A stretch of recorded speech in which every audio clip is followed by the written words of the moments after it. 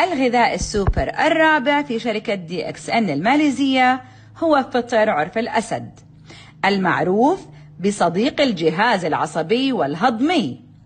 وقد يستغرب البعض من هذه الصداقة المزدوجة أو التأثير المزدوج لفطر عرف الأسد على جهازين منفصلين في الجسم فيما يبدو لمعظمنا ولكن العكس هو الصحيح كما سأبين لكم الآن.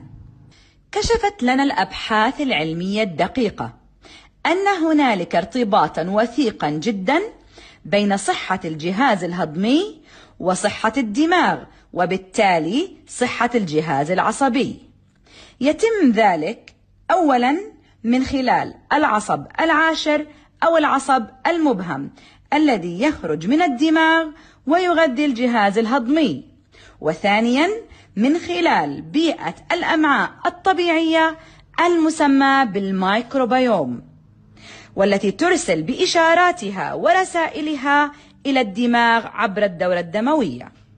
أما بالنسبة لأهمية فطر عرف الأسد لأجسامنا فنجد أنه يقوم بوظيفتي التغذية والتنقية معا وبشكل متداخل ومترابط. حيث يقوم بتغذية الخلايا بالعناصر الهامة لها وفي ذات الوقت يحفز طرد السموم والعناصر الضارة منها وفيما يلي تفصيل ذلك. من الناحية الأولى يزود فطر عرف الأسد خلايا الجسم بنوع خاص من البوليساكرايدات اسمه beta glucans هذه البيتا جلوكانز هي المسؤولة عن النمو والاستقلاب الطبيعي للخلايا وكذلك تعد مسؤولة عن تحسين عملية الهضم وصحة الجهاز الهضمي من خلال تحفيز إنتاج الميكروبيوم النافع فيها. ومن ناحية أخرى يقوم هذا الميكروبيوم النافع بمحاربة الالتهابات في الأمعاء ومقاومة السموم والخلايا الضارة فيها من خلال الإشارات التي يصدرها لجهاز المناعة حيث يعرفه على الأجسام الضارة ليحاربها ويتخلص منها وكذلك من خلال الإشارات التي يصدرها للدماغ والجهاز العصبي. ومن أهم ما يتميز به فطر عرف الأسد عن غيره من الأغذية العضوية السوبر في الطبيعة هو احتوائه على عنصرين مهمين جدا لهما قدرة عالية على تخطي حاجز الدم الدماغي.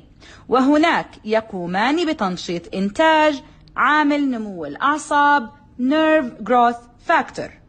وتكمن أهمية هذا العامل بتحفيزه لعملية ترميم غشاء المايلين المحيط بالخلايا العصبية. ومن الجدير بالذكر أن مكتشفا العامل المحفز لنمو الأعصاب قد حصلا على جائزة نوبل في عام 1986 لما لهذا العامل من أثر كبير في ترميم الخلايا العصبية التالفة وتجديدها وتحسين قدرة الدماغ على الانتباه والتركيز والاستيعاب والتذكر وغيرها من الفوائد الكثيرة المتعلقة بصحة الجهاز العصبي.